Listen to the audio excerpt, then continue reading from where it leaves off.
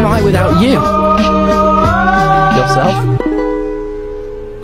All my friends are toxic, all ambitionless, so rude and always negative. I need new friends.